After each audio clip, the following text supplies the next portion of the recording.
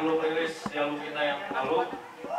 Materi ini bakal kita spin bareng black metal mancanegara dari Table Dead Wish.